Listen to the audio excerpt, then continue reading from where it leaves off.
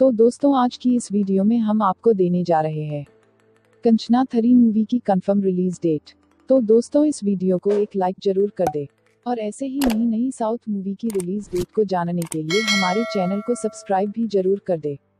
तो ज़्यादा न देरी करते हुए, चलिए वीडियो शुरू करते हैं।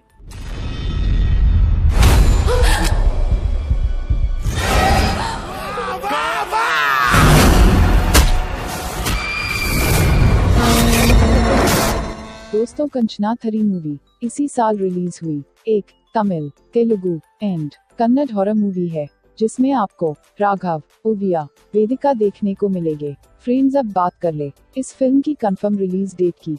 तो फ्रेंड्स ये फ़िल्म 29 दिसंबर रात 9 बजे जी सिनेमा पर। काली का करिश्मा, के हिंदी टाइटल के साथ प्रीमियर किया जाने वाला है। और फ्रेंड्स ये फ़िल्म आपको यूट्यूब पर नहीं देखने को मिलेगी।